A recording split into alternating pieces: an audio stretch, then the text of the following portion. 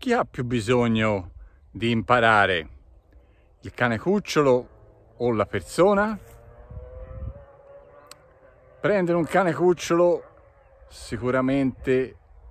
è un momento di, di gioia, desiderato, preferibilmente voluto, ma talvolta c'è più il desiderio che forse si unisce anche al volerlo. In ogni caso, indipendentemente da questo, quando le persone hanno un cucciolo, eh, la domanda si pone, chi ha più bisogno di imparare, il cane cucciolo o la persona? Probabilmente tutte e due, nella mia esperienza forse più la persona. È difficile comunque stabilire una percentuale, ma in ogni caso entrambi hanno bisogno di imparare. Le persone spesso chiedono di, di, che gli sia insegnato i comandi, come farsi obbedire dal cane, a stare fermo, a venire, eccetera. Tuttavia, un cane cucciolo, ma comunque un cane, sa sedersi anche da solo, non è che ha bisogno che qualcuno glielo insegni, ma dietro a queste richieste delle persone spesso si denota un'insicurezza e quindi il bisogno di sicurezza, di essere ascoltati dal proprio cane per poterlo gestire al meglio e non avere problemi. Le persone capita che facciano un po' confusione tra obbedienza ed educazione, che non sono la stessa cosa, perché obbedienza eh, uno deve obbedire e quindi si tratta che deve eseguire un compito, un comando, e quindi va quasi più su un'imposizione, mentre l'educazione mira a tirare fuori il meglio da quell'individuo perché possa crescere sano, forte sviluppare tutte le sue qualità, le sue potenzialità. È una crescita che parte da dentro a livello interiore e che l'educazione va anche a colmare quelle che sono le sue eventuali carenze quindi è importante capire questo perché in natura nessun lupo insegna il seduto terra resta o piede ad un altro cucciolo, non fa parte dei comportamenti tipici della specie e non ne hanno bisogno, quindi se non lo usano in natura vuol dire che non è così fondamentale per il cane. E, tuttavia quando la persona prende anche il cane si entra in una relazione e in questa relazione, avendo la persona a che fare con un essere vivente di una diversa specie, è importante che sia sana, perché in questa relazione emergerà anche come la persona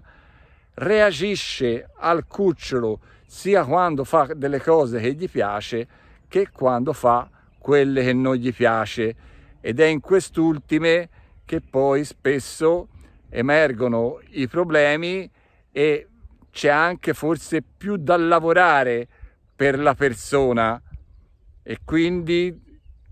queste reazioni daranno del, delle indicazioni, delle indicazioni importanti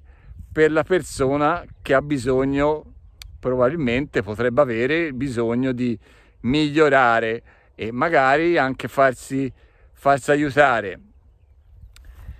nella relazione col cane è importante che la relazione sia sana e più che l'ubbidienza c'è bisogno di capire quali sono i bisogni interiori del cane cucciolo, quali sono le sue qualità che vanno potenziate, le sue motivazioni, le sue attitudini ed anche comprendere dove ci siano delle carenze che vanno possibilmente colmate o migliorate. Va compreso lo stato emotivo del cane cucciolo e va fatto fare delle sane esperienze in modo che ci sia una relazione funzionale. Più che obbedienza che si basa sull'imposizione, c'è bisogno di acquisire delle conoscenze affinché il proprietario, la persona, la proprietaria diventi